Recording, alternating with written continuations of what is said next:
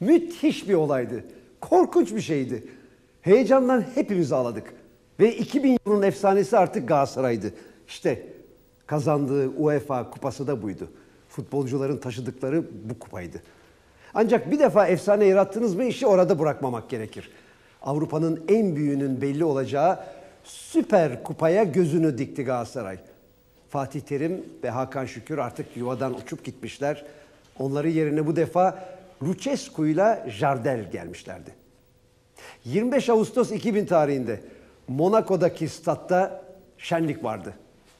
Bu şenlikte de bir kalede şampiyonlar şampiyonu Real Madrid, diğer kalede UEFA Kupası şampiyonu anlı şanlı Galatasaray vardı.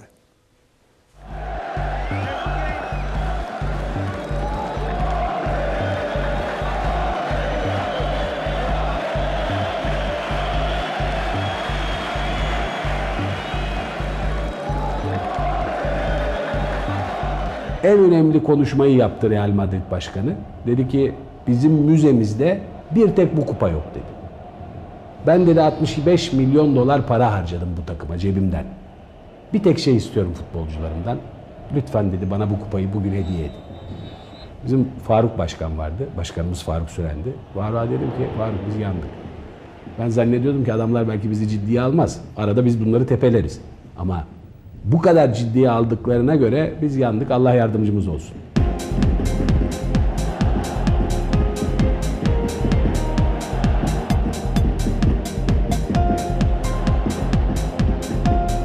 Galatasaray'a Real Madrid karşısında başarılar diliyoruz.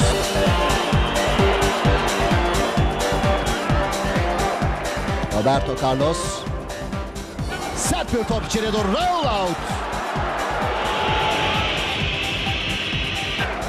Hacı oynayıp Suat'ın pas vermesi düşünülebilir tekrar Hacı'ya. Öyle oldu. Hacı içeri sokuldu. Hacı vurdu. Casillas.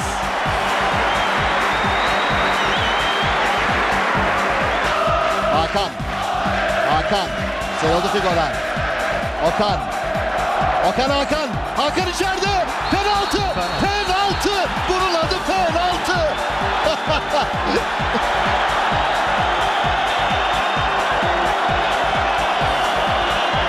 Şampiyonlar Ligi boyunca sürekli olarak Real Madrid'in karesini koruyan iki Porto maçında Jardel'den 3 gol yiyen Casillas Jardel topun gerisinde düdük çalmak üzere herkes uzaklaştı. 1-0 öne geçebiliriz. Jardel vuruyor gol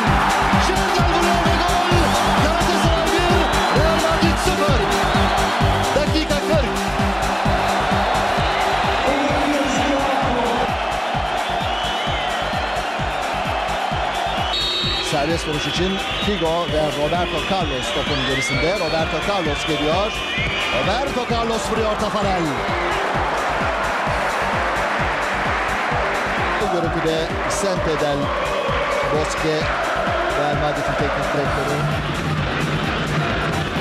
Şimdi içeride şimdi Bülent Ümit. Tekrar Bülent olmadı Bülent. Çok güzel bir fırsattı. İçeride Raul var. Munitis. Munitis içeride. Önü boş. Munitis orta Savio vuramıyor. Raul da dışarıya atıyor. Jeremy. Jeremy. Vuruş out. Sol kanat Savio. Savio. Savio orta. Tam zamanında Suat. Elle oynama penaltı. Penaltı kararı geliyor.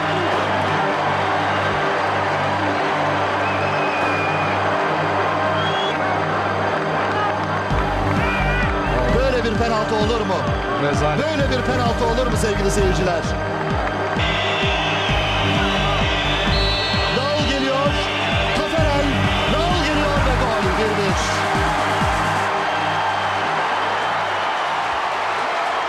1-1. Dakika 78 durum 1-1 gol Raul.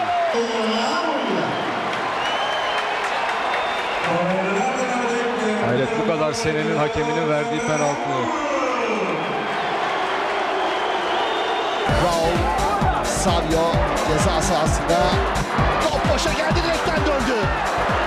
Figo ve top direkten döndü. Daha çabuk Ümit. Ümit şut pozisyonu. Ümit vuruyor. Out. Güzel bir şey. Ama korner değil mi bu oyun? Evet Galatasaray yedek kulübesine korner diye ayağa kalktı ama out kararı geldi. Ve 90 dakika sona erdi. 90 dakikalık süre Süper Kupa finalinde eşitlik getiriyor sevgili seyirciler. Şimdi 15'er dakikalık altın gol uygulamasının da olduğu uzatma devrelerine geçiliyor.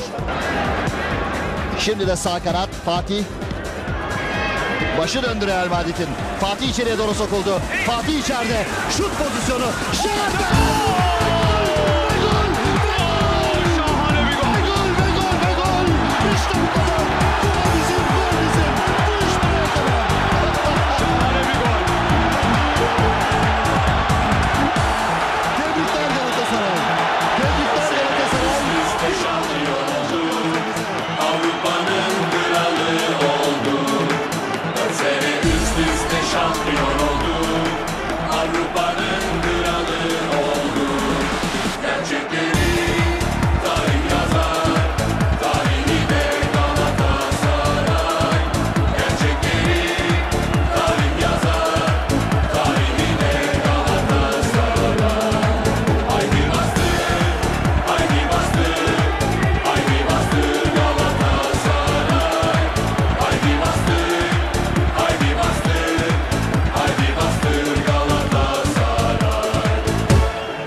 Başkana baktık, başkan çöktü. başkan çöktü. Biz o zaman e, işte Prens'in locasında oturuyoruz. İşte Prens ortada, e, Real Madrid başkanı orada, ben burada. Başkan çöktü. O golü inanamadı o golü. Yani inanamadı. Zaten Fatih ortaladı. Ortayla şut karışı bir şey yaptı. Ee, Jardel de ayağını koydu ve gol oldu. İnanamadı. Kimse inanamadı. Kimse inanamadı. Zaten böyle yani bir tereddüt saniyesi vardır ya. Şöyle bir acaba gol mü oldu filan. Hakikaten mi gol oldu filan. Jardel formayı çıkıp koşmaya başladığı zaman millet zaten realize etti olayı.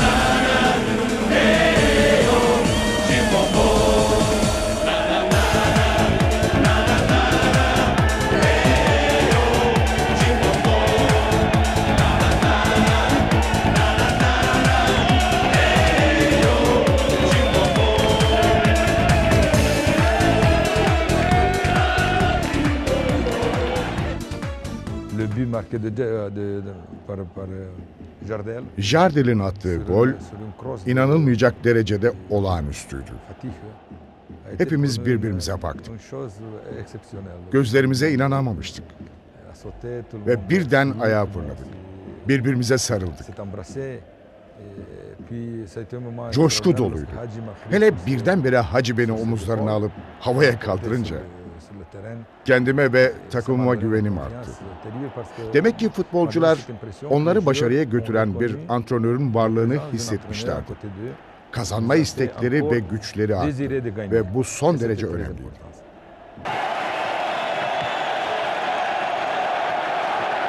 O maçtan sonra Savarona şeydeydi. E, Monaco'daydı. E, orada bir rıhtım vardır. O rıhtıma kimse yana- yanaştırmazlar. Yani hiçbir tekne gelip oraya yanaşmaz ki Savarona da aşağı yukarı 140 metre, 150 metrelik bir gemi. E, oraya e, işte zaten bizim e, Kahraman Sadıkoğlu da okulda abimizdir. Birazcık da çok dışa dönüktür. Onun da şeyle ama Galatasaray'ın o büyüklüğüyle e, denizcilik tabirinde aborda olmak derler. O tekne geldi Monaco limanının ağzına, Savarona gemi olarak aborda oldu ve arkasında koca bir e, belki 10 metrelik bir Türk bayrağı vardı. Ondan sonra orada bir hep beraber oradaki Türkler toplanmıştık sahiden. E, bence çok güzel bir şeydi. Yani o Süper Kupa ile oraya gelip Atatürk'ün gemisini Türk bayrağıyla sene üst üste şampiyon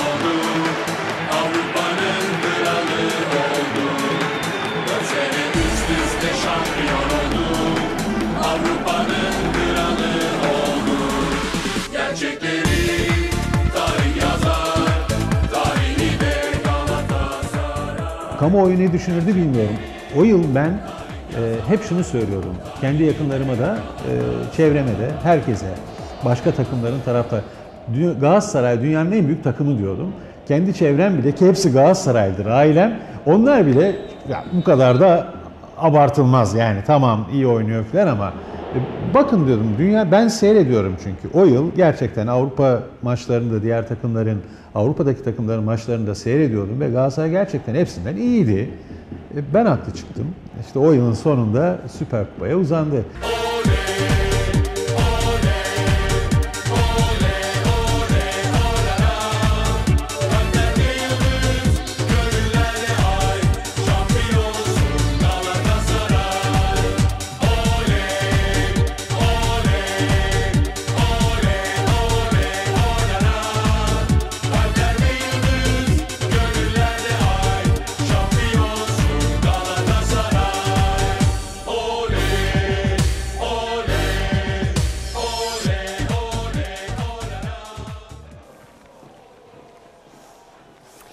Galatasaray işte bu kupayı, Süper Kupayı Real Madrid'in elinden söktü aldı. Galatasaray artık dünyanın dört bir köşesinde tanınan, Avrupa'da aranan bir markaydı. Büyüklüğünü göstermişti. Gelinen nokta tesadüf değildi. Dünya Galatasaray'dan söz ediyordu.